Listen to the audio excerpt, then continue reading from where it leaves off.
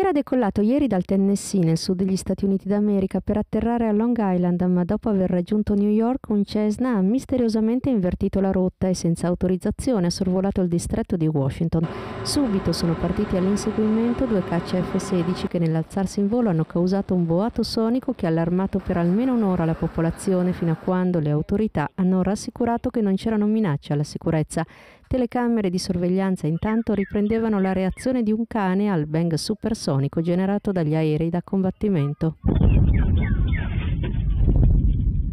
Non ha risposto alle indicazioni il pilota del velivolo leggero che è precipitato in una zona rurale della Virgilia intorno alle 15.30 ora locale. Solo verso le 20 i soccorritori hanno raggiunto il luogo dell'incidente. I militari assicurano di non aver abbattuto il piccolo aereo che trasportava la figlia del proprietario del Cessna, la nipote e la tata, ma sulla vicenda ha aperto un'indagine l'agenzia governativa NTSB, il cui rapporto è atteso entro la fine del mese.